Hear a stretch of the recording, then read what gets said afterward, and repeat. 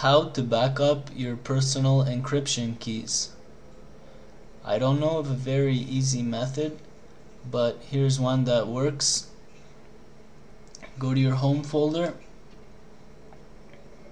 Let's say we create a backup folder. Go to view, show hidden files, find the file .gnupg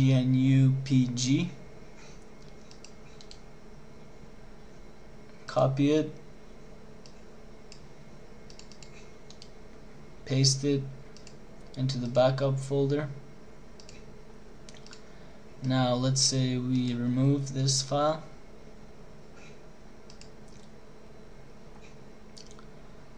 And we go to the encryption keys manager we see that we don't have any encryption keys anymore. Now, a file was generated automatically. This .gnupg file was generated automatically because we opened that. So let's delete that one and take the one from the backup folder.